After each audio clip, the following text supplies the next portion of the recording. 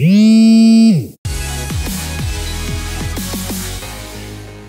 nouveau bâtiment d'accueil de la vallée des Saints à Carnoët a été inauguré ce jeudi.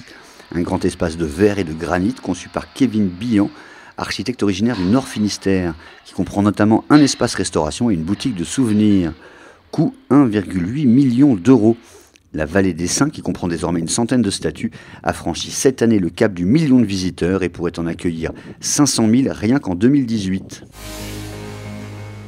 Nouvelle mobilisation pour obtenir un émoji aux couleurs du drapeau breton. Après l'échec de l'an dernier, l'association BZH remonte au front pour obtenir l'accord d'Unicode, l'organisme international chargé d'approuver ou non les candidatures. Une pétition en ligne sur le site emoji.bzh a déjà réuni plus de 4000 signatures et la région devrait annoncer ce vendredi son soutien au projet. Des salariés en grève de l'hôpital de Port-Louis ont interrompu ce jeudi matin la réunion du comité technique du centre hospitalier du SCORF à Lorient. Ils entendaient protester contre la dégradation de leurs conditions de travail.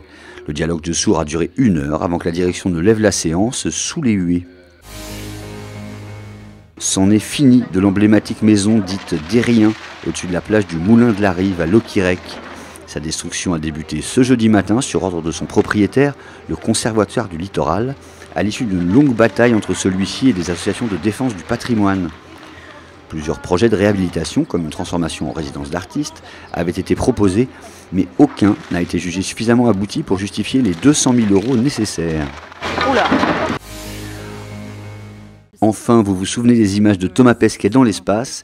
Eh bien, c'est ce qui a reproduit, mais en moins cher, une équipe nantaise cette semaine à Lannion. Regardez, on s'y croirait.